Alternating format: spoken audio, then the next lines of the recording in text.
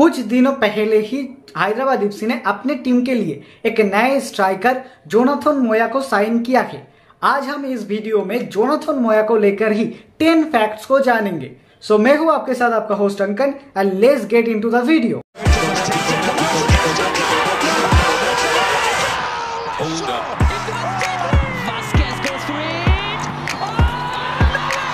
so fast fact है Jonathan Moya के international career को लेकर। So Jonathan Moya Costa Rica national team के तरफ़ से टोटल 15 मैचेस खेले थे और वो 2022 वर्ल्ड कप क्वालिफिकेशन राउंड के कोस्टारिकन टीम के मेंबर भी थे बट अनफॉर्चुनेटली वो वर्ल्ड कप स्क्वाड में जगह नहीं बना पाए जोनाथन मोया ने अपने last international match Costa Rica national team के तरफ़ से खेले थे 2021 में वर्ल्ड कप क्वालिफिकेशन में ही यूएसए के खिलाफ और इसी के साथ साथ जोनाथन मोया ने कोस्टारिका अंडर 17 अंडर 20 टीम को भी रिप्रेजेंट किया है। एंड सेकेंड फैक्ट है, जोनाथन मोया के क्लब करियर को लेकर। जोनाथन मोया के पास Costa Rican first division Ukraine first division La Liga second division and South Korea के सेकेंड डिवीज़न में खेलने का एक्सपीरियंस है। थर्ड फैक्ट है जोनाथन मोया के पोजीशन को लेकर। स्पेशली जोनाथन मोया एक स्ट्राइकर कभी बट वो कभी कभी एज ए राइट मिडफील्डर और इसके साथ साथ एज ए राइट विंगर भी खेल सकते हैं। यानी कि वो एक वार्सेटाइल स्ट्राइकर है जो स्ट्राइकिंग में भी खेल सकते हैं इसके साथ साथ मिडफील्ड और विंगर पे भी खेल सकता है।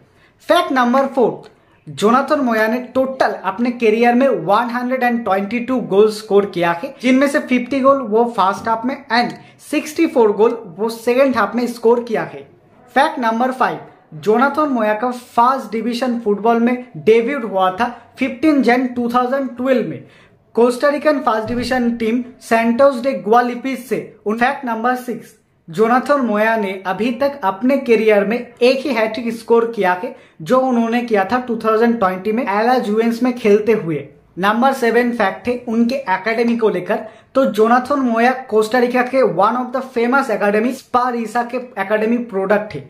और ये स्पारिसा एकेडमी एक से एक बढ़कर कोस्टारिका नेशनल टीम के लिए प्लेयर प्रोड्यूस किया है। और इस एकेडमी का ही प्रोडक्ट है केला नेविस जो पीएसजी के करेंट गोलकीपर है।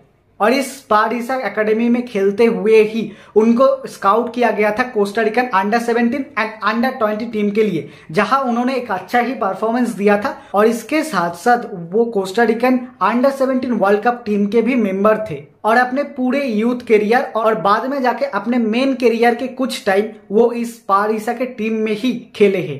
नंबर एट जोनाथन मोया ने अपने करियर में सबसे ज़्यादा गोल स्कोर किया है एक ही टीम के खिलाफ, जो है कोस्टरिकन फ़र्स्ट डिवीज़न के खिलाफ कार्टागिनिस इस टीम के खिलाफ जोनाथन मोया ने total ten goals and four assist किया है। Fact number nine, Jonathan Moya ने सबसे ज़्यादा मैचेस खेला है एक ही क्लब से, वो है एला जुएलेंस इस क्लब से जोनाथन मोया ने टोटल 108 मैचेस खेला है और इस क्लब से ही जोनाथन मोया को सबसे ज़्यादा सक्सेस मिला है। टोटल एला जुएलन से वो 108 मैच में 32 गोल्स एंड 22 एसिस्ट किया था। Fact number 10 Jonathan Moya South Korea के किसी भी लीग में खेलने वाले फोर्थ कोस्टा रिकन थे। जोनाथन मोया ने 11 जनवरी 2021 में साउथ कोरिया के सेकेंड डिवीज़न के क्लब यानी कि के टू लीग के क्लब एफसी एन वांग में साइन किया था। और इस एफसी एन वांग में खेलते हुए ही जोनाथन मोया ने अपने करियर का बेस्ट परफॉर्मेंस दिया था, जिसमें टोटल 68 मैचों में 29 गोल एंड 6 एसिस्ट किया था। और हैदराबाद एफसी ज्वाइन करने से पहले वो इस एफसी एन वांग में ही खेलते थे। सो अब आते हैं फाइनली जोनाथन मोया कैसा प्लेयर है। देखो जोनाथन मोया एक गोल स्कोरर है। ये सबको पता है क्योंकि वो नॉर्मली एक स्ट्राइकर है तो गोल तो स्कोर करेगा ही। सो so, जोनाथन मोया में क्या स्पेशलिटी है? अब देखो जोनाथन मोया का हाइट है सिक्स फीट और वो अपने हाइट का एकदम से प्रॉपर यूज़ करता है। और जोनाथन मोया अपने पैर से ज़्यादा हेड से गोल करना ज़्यादा पसंद करते हैं, क्योंकि मैंने जितने भी सारे उनके गोल्स के वीडियो देखा है, उनमें से मैक्सिमम वो हेड से ही गोल किया है और वो कर पाते हैं क्योंकि उनके हाइट है सिक्स फीट तो Jonathan Moya dead ball situation में ज़्यादा डेंजरस होते हैं, वो आईएसएल टीम के लिए भी वो ज़्यादा डेंजरस होंगे क्योंकि वो हेट एकदम से हेट करके गोल ज़्यादा स्कोर कर पाते हैं और हेट करने में वो एकदम से स्पेशलाइजेशन है। सो so, वो डेड बॉल सिचुएशन में डेडली हो सकते हैं। एंड सेकेंड आते हैं एकदम प्रॉपर पोजीशन पे रहना। तो एकदम गोल करने के लिए जो सही पोजीशन होता है वो उधर ही रहते हैं।